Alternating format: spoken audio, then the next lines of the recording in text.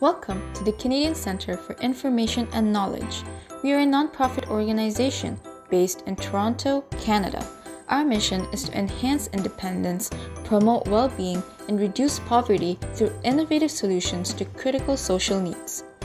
To deliver on our mission, we collaborate with local organizations and the government to ensure that our services are free and accessible at all times.